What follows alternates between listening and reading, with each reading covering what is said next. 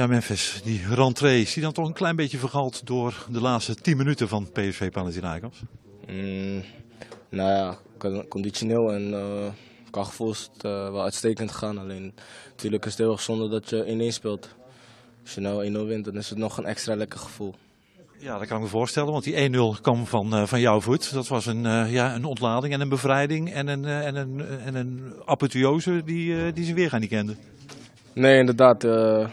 Ja, daar komt emotie bij kijken natuurlijk. het is toch geen kleine blessure die je hebt gehad. En ik ben ook niet vaak geblesseerd. Dus ja, het was voor mij wel heel moeilijk om ermee om te gaan als je dan ja, hier boven zit en je teamgenoten moet spelen en Nederlands elftal speelt. En, dat is wel lastig, alleen ja, dan komt zo'n emotie erbij kijken na een goal. Ja, dan wordt een goal extra lekker. Een totaal ritueel in de afloop. Onder andere ook een shirt dat je dan uittrekt. Is dat dan handig?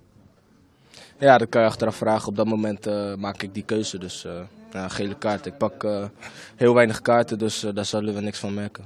Ja, dus als het medio maart is en PSV speelt tegen Tottenham in de weet ik veel, kwartfinale voor de Europa League, dan ben jij er gewoon bij. En dan gaan we niet terugdenken aan die rare en die gele kaart van toen. Volgens mij neem je je kaarten niet mee naar de poolfase. Die worden dan kwijtgescholden als het goed is. Dus je loopt uh, vooruit op de zaak. Dat doe ik liever niet. Wat deed je daarna ook nog een, een, een telefonisch gebaar? Er gebeurde van alles na die goal.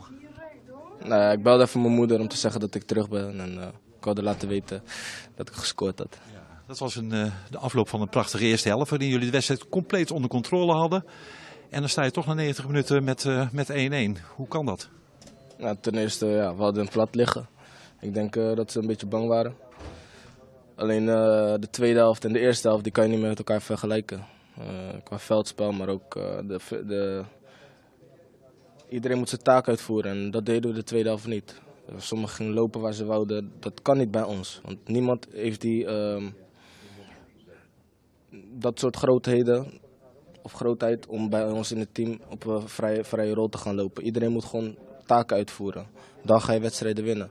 En dan zie je toch dat, dat in een counter, dat hun met twee spitsen spelen. En uh, met aansluiting erachter dat onze middenvelders weg zijn. En het maakt niet uit wie het is, maar ze kijken niet genoeg naar elkaar. En ja, daar, uh, daar moeten we morgen over hebben. Alleen, uh, ja, dat is zonde inderdaad als je met 1-0 voor staat en er eigenlijk niks aan de hand is. Dat is ongetwijfeld geen onwil. Is het misschien de, de, de, de, de angst die er toch een beetje insluipt omdat die knock-out niet uitgediend kan worden? Dat die 2-0 niet komt? Nee, ja, ik denk het niet hoor. Ik denk, ik denk niet, natuurlijk is het geen onwil. En iedereen wil goed, goed doen voor het team. Alleen moeten, moeten we wel naar elkaar kijken en op elkaar afstemmen wanneer eentje weg is, dat de andere terugtrekt. Wanneer een back weg is, allebei de backs kunnen niet tegelijk mee. Want uh, ja, hun spelen op de counter en ja, dat hebben ze ook weer gedaan. Voorzet en, en het is 1-1. En ja, of wij dan te veel op zoek gaan naar de 2-0, dat vind ik van niet. Kijk, natuurlijk zijn we op zoek naar de 2-0. Alleen uh, 1-0 in huis, eigen huis is ook goed. Alleen ja, dan krijgen we toch weer een goal tegen en dat is niet de eerste keer. Ja, dat is gewoon enorm zonde en dat, uh, ja, dat blijf ik zeggen. Dus blijft het nog een beetje spannend in, in de groep. Uh, ja, de eerste wedstrijd na bijna zes weken, vijf dagen en vijf weken was het geloof ik jouw afwezigheid. Voelde het anders of was het gelijk weer de oude Memphis? Mm, dat heb je zelf kunnen zien toch? Ja, het oogde soepel zoals het ook de afgelopen weken op de training al soepel oogde. Ik dacht een week geleden al van die Memphis kan zo weer meedoen. Ik voel me als de oude, dus ja, het, gaat, ja, het is gewoon mooi. Als je na zo'n blessure gewoon uh, gelijk de stad en terug kan komen, dat is mooi. Nou, op Utrecht, wordt ook weer lekker. Ja, daar gaan we wel vanuit inderdaad.